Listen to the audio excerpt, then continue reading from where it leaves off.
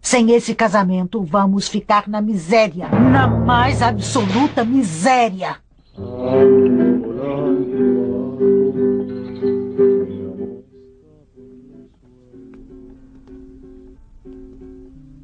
O que, é que você tem? Nada, mamãe. Mas como nada? Parece que está na lua. Pelo amor de Deus, mamãe, vê se me deixa em paz. Estou com dor de cabeça. Todos esses aborrecimentos nós devemos à infeliz dessa caipira.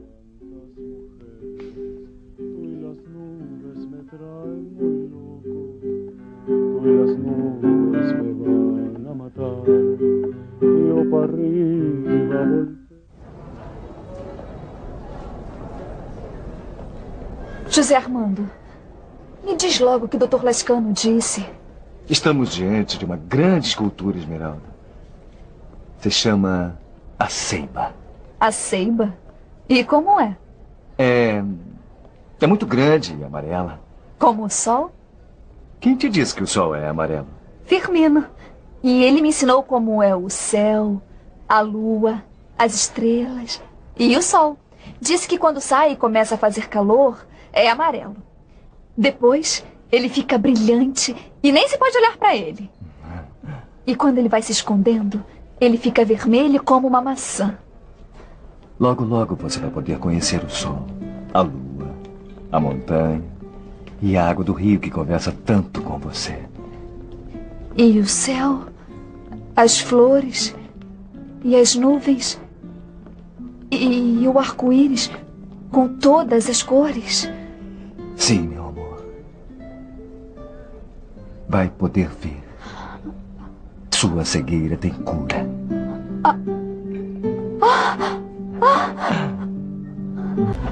O que você tem, Adriano? Nada, pai. Eu ouvi uns boatos. Esse índio, Ofélio, O que que tem ele? ele anda dizendo que Adrian Lucero agora está se dedicando a outras coisas. Como o que, por exemplo? Como fazer serenatas e falar de amor nas janelas. Eu vou dar um jeito nesse linguarudo. É um índio safado. Olha, meu filho, uma vez eu te disse: tem amor que é impossível. Gente humilde como nós não pode se dar ao luxo de ficar fazendo loucuras. Grazielo está com um humor péssimo e com razão. Como pode adiar o casamento quando estava perto de se casar? E minha filha cresceu convencida de que seria esposa de José Armando. E agora uma aproveitadora quer lhe tomar um direito legítimo, trazendo a desgraça para nossa família. É intolerável. Calma, dona Fátima. Tudo acontecerá como Deus quiser. E não deve levar as coisas para o lado trágico. Vamos ver o que vai acontecer, porque Rodolfo não está disposto a mudar os planos e, com o gênio que ele tem, dá até para ficar tremendo. E você sabe disso melhor do que ninguém. O Dr. Lascano vai operar você assim que voltar de um congresso na Europa. Está contente? Muito, José Armando. Só que O quê? Diz? Eu também estou um pouco nervosa. Claro. É a primeira vez que se afasta de casa. É a primeira vez que vem à cidade e é a primeira vez que você fica sozinha comigo. Não acha que é suficiente para alterar qualquer mulher? Eu queria te pedir uma coisa, José Armando. O que quiser está concedido. Eu queria que você me operasse. Não, meu amor. Não tenho essa capacidade. Vai ser operada por um especialista. Tenho tanta vontade de poder ver o seu sorriso, o seu olhar. E eu vou trazer você a este lugar. Aqui você vê essa maravilhosa cidade. São milhares de luzes que brilham à noite, como estrelas. E a gente escolhe uma delas e se pergunta: quem mora lá? Que seres essa luz tão pequena ilumina? Como será que vivem? Será que sofrem? Que sonham? Que amam como nós nos amamos? Eu te escuto é como se o visse. Eu não sei como é uma estrela nem uma pequena luz. Mas quando você fala, sinto uma coisa bonita. Deve ser porque você diz. Queria que esta noite não terminasse nunca. Eu também. Mas mesmo nos amando tanto, não podemos parar o tempo. Teremos outras noites. Muitas mais. Muitas mais. Sim, quando for minha esposa e não houver mais nada que se oponha a nós.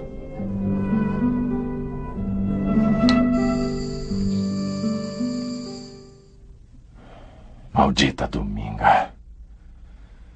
Ela está aliada a Esmeralda. Quer que esse médico imbecil fique com ela.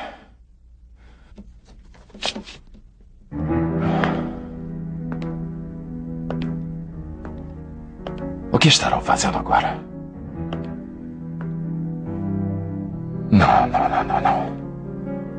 Não, Esmeralda tem princípios.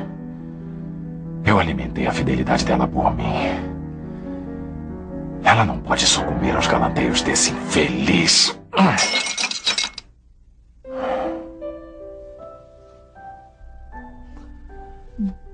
Com você eu me sinto no céu. Deve ser porque eu me sinto flutuar. Não sei se é o vinho, ou o sono, ou a felicidade. Meu amor. Vá embora, José Armando. Mais um beijo.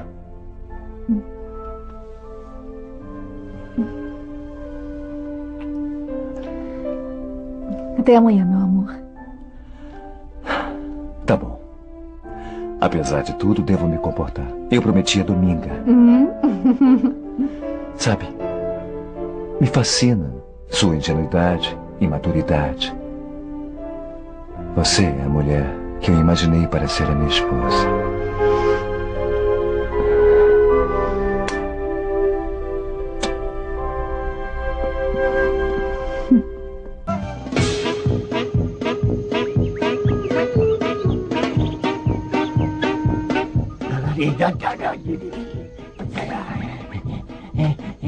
E, e, e a minha. E, e a minha rainha onde está? Cadê? Cadê? Já estou preocupada. Esses dois não voltam. Será que aconteceu uma desgraça? E tudo por minha culpa. Não devia ter deixado a Esmeralda viajar com o doutor. E, e os meus docinhos? Dominga! Ah, meus docinhos! Quieto! Em vez de pensar na Esmeralda, você só pensa nos seus benditos docinhos. Bem, isso é. é, é, é. Oh! Dominga! Parece que ouvi, ouvi uma buzina. Oh, oh, oh. Ai, minha virgem. Será que são eles? Chegou! Chegou! Chegou a rainha, chegou a minha rainha! A minha rainha chegou! Já chegou! Ai, meu Deus, graças a Deus. E os meus docinhos, os meus docinhos, os meus quieto, docinhos! fica quieto. Primeiro você tem que me abraçar. Dominga! Ah, Dominga! Minha rainha já chegou! Minha rainha já chegou, chegou! Minha rainha chegou! Minha rainha! Então, como foi? Muito bem, Dominga. Muito bem. Meu, meu, meu presentinho, minha rainha. Você se lembrou do bobo, do bobo Melésio? Se lembrou? Foi? Claro que sim! Olha, eles estão aqui. Quer ver? Ah, Escuta. Quero dizer uma coisa. Doutor Malaver veio aqui. Ficou sabendo que Esmeralda tinha ido com o senhor e ficou furioso. presentinho. Tenho medo. O diabo está louco e é capaz de querer matar Esmeralda. Adrian, como está esse braço? Já está bom. Quando o doutor voltar, vou ver se posso tirar essas faixas. Ontem te ouvi cantando. Eu gosto do seu canto. Bondade sua. Eu só canto por cantar. Não disfarça, Adrian. Porque eu sei que aquela canção era dirigida a alguém. O que disse? Que eu estou sabendo que há entre você e Graziella. A senhora está enganada. Eu sei, porque a própria Graziella me disse. Eu queria que o doutor me dissesse o que aconteceu, mas veio, deixou isso e se foi. É porque deve estar esperando ele, Dominga. Pode ser. Pode ser. Os, o- os docinhos estão uma delícia, minha rainha. São gostosos. E, e são bonitos. Verdes, amarelos, vermelhos, de todas as cores. Mas vê se não come tudo, Melésio. Assim vai acabar. Ah, Toma, toma, toma. Come, come, come você também. Come você também. Não, não, não, Melésio. São seus. Eu trouxe pra você. Todos são pra mim? Todos Todos pra mim? É. Todos? Ah, Doutor, Eu disse que não gosto que me interrompam. mas desculpe, mas... Doutor Malavé. Quero falar com o senhor. Foi lindo, Dominga. Eu tinha a impressão de que estava pertinho do céu. Olha só como ela está atrevidinha. E José Armando queria me mostrar toda a cidade. Queria que eu olhasse através dos olhos dele e de todas as coisas bonitas que ele me ofereceu. Foi como se a história da Cinderela se tornasse realidade. que maravilha. Como se atreve a entrar em minha casa sem minha permissão? Entrei exatamente por isso. Pensei que se recusaria a me receber. Doutor Malavé... Joana, deixe-nos a sós. Eu disse para não se aproximar da Esmeralda. Eu avisei. Eu exigi. Eu pedi que saísse da vida dela. O senhor a levou. Me roubou, maldito infeliz! O que fez com ela? Por que veio agora? Eu vou destruí-lo. Eu vou matá-lo com minhas próprias mãos. Quieto! Está louco? Eu não quero brigar com o senhor. Não me obrigue a fazer isso. Está se comportando como um animal, Dr. Malaver. Eu acho que somos dois homens civilizados. Eu a levei para que fosse examinada por um especialista. Eu disse que ia assumir esse caso porque o senhor simplesmente tinha abandonado. Eu sei por que fez isso. O senhor não queria que Esmeralda pudesse ver. Sabendo que poderia ter cura. De propósito, a deixou assim. Cega! Olha o vestido que ele comprou. Olha, nossa senhora! Olha! E aqui está a bolsa e os sapatos que eu usei, Dominga. E José Armando me levou para comer num lugar onde tinha fontes e pavões reais. E tinha uma música maravilhosa. E no dia seguinte, me levou para jantar num restaurante onde dava para ver toda a cidade e as estrelas. E, e- e eu escutava os risos e o barulho das pessoas. E você não levou um susto? Sim, sim, no início sim. Mas José Armando fez eu me sentir tão segura. E depois? Depois, voltamos pro hotel. Ele foi dormir no quarto dele e eu me deitei numa cama macia, macia. Ai, foi inesquecível, Dominga. Eu jamais vou esquecer. Foi como. como um sonho.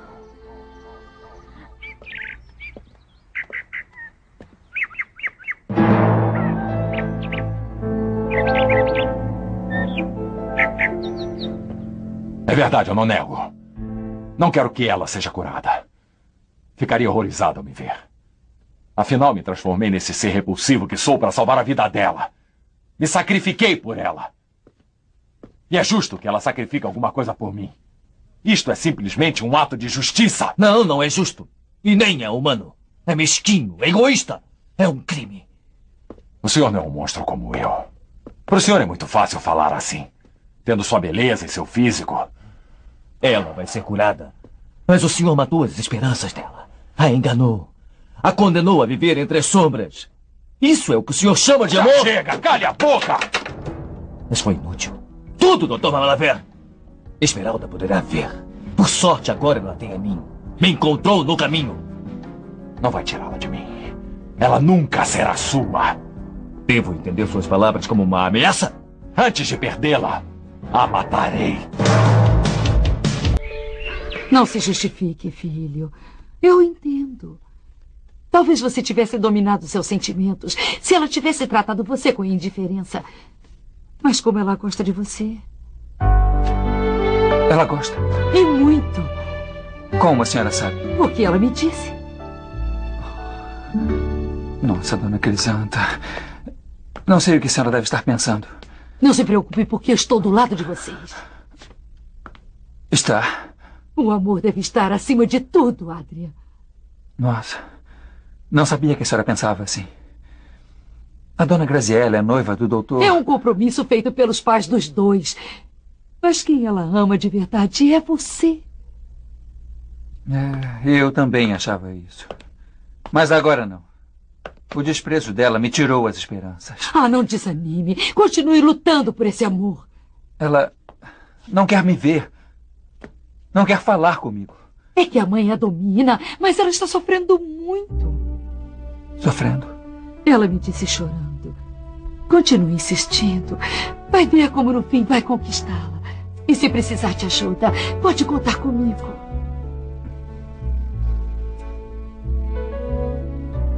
Por favor, diga que eu a espero aqui esta tarde. Eu direi. Esmeralda não está sozinha nem desprotegida como antes. Agora ela tem a mim. O que houve entre vocês? O que houve nesses dias em que estiveram sozinhos? Nada! Essa viagem só teve um motivo. Curá-la! E o que o senhor, com sua mente doentia, imagina não aconteceu. Espero que se acalme, Dr. Malaver. Ou seria obrigado a desmascará-lo para Esmeralda. O carinho e a gratidão que ela tem se transformarão em desprezo e repulsa. Justamente o que o senhor merece.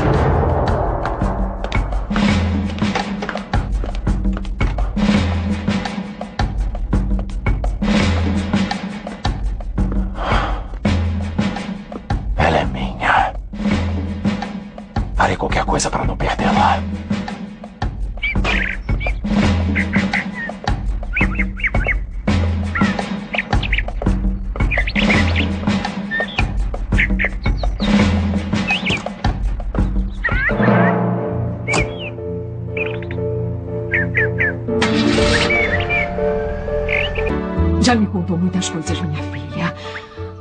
Me diga o que eu quero saber. O que o médico dos olhos disse. Se chama Álvaro Lascano Infante.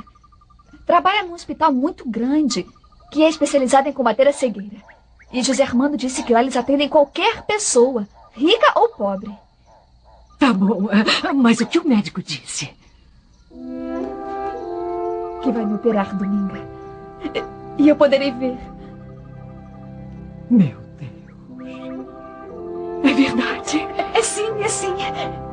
Algum dia eu poderei ver se Deus quiser.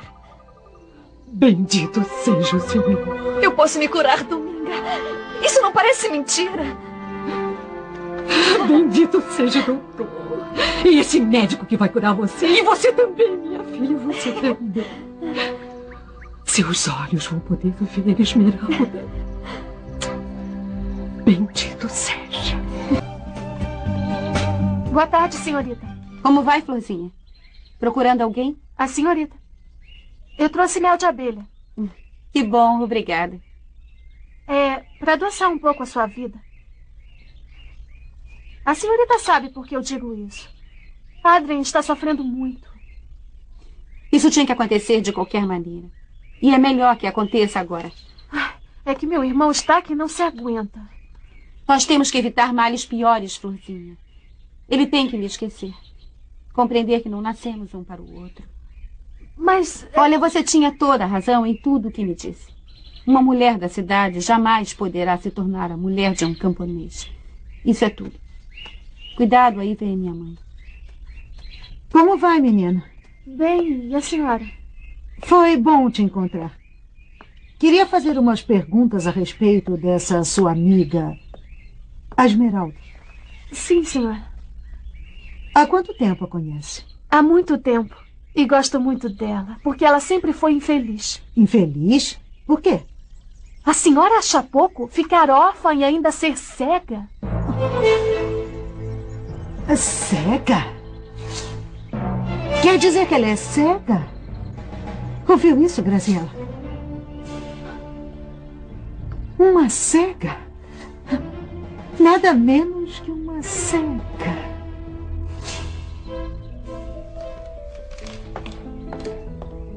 Oi, papai. Oi, mamãe.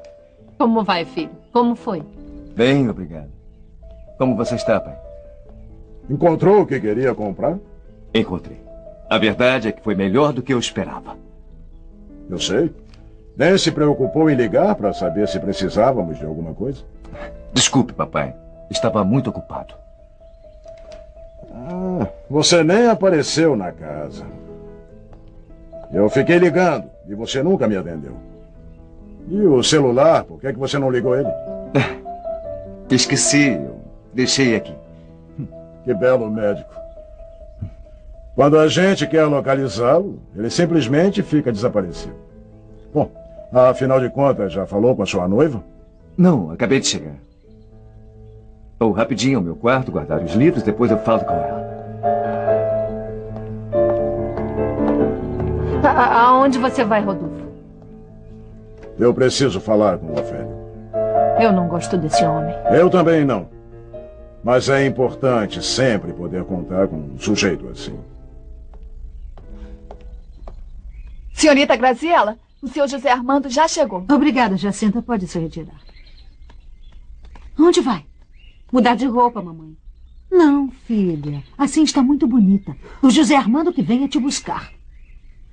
Toma. Toma. Seja natural. E assim que ele vier, seja muito carinhosa. Nada de críticas, meu bem. Meu filho esteve na casa do médico. Aham.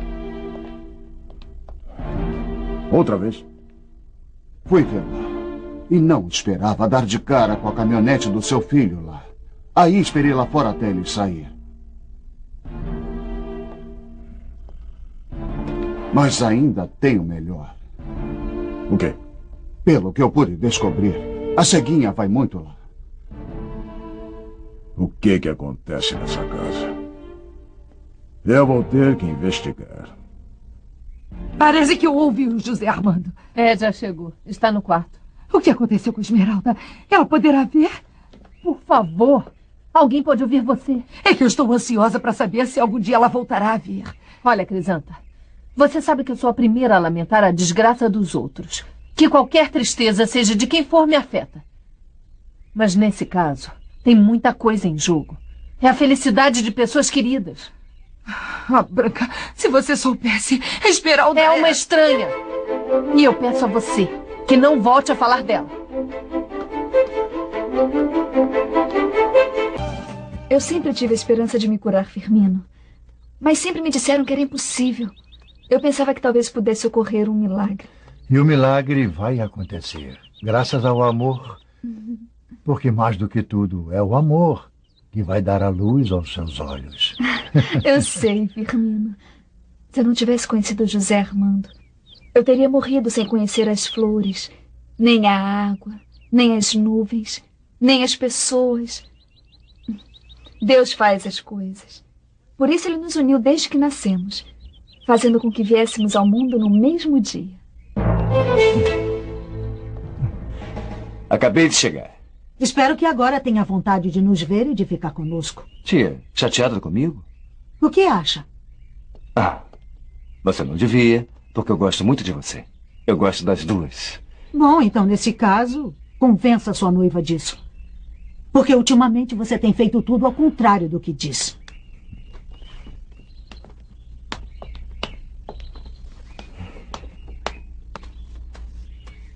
Sentiu saudade? E você sentiu?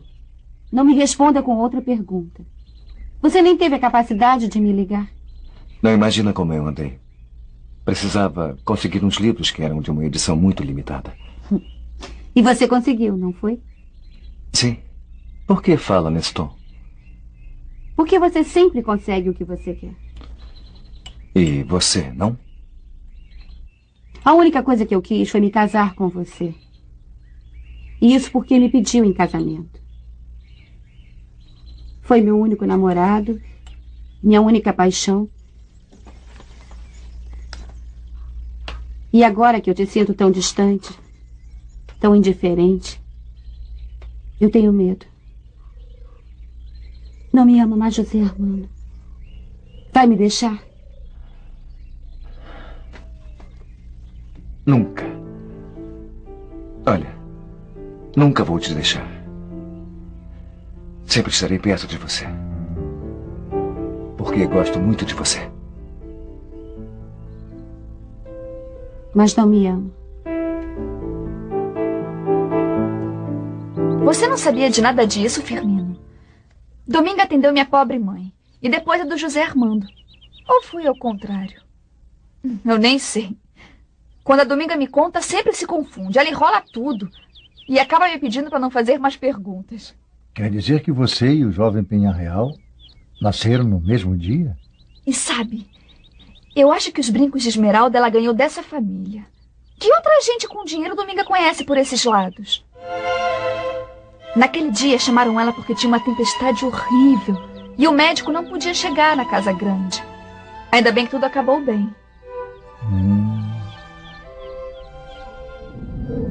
É um ano e um mês. Eu tenho certeza, tenho certeza absoluta. Não, minha senhora. Eu já disse, há muitos anos não se enterra aqui uma menina recém-nascida. Meu Deus. Dominga disse que me deu esse nome por causa dos brincos de esmeralda que deram para ela. Mas por que ela insistiu para que eu o usasse? Por que queria que os Penha Real me vissem com eles? Hum? Quem sabe? Às vezes eu não entendo a Dominga. Eu sei. E acho que finalmente estou entendendo, Esmeralda.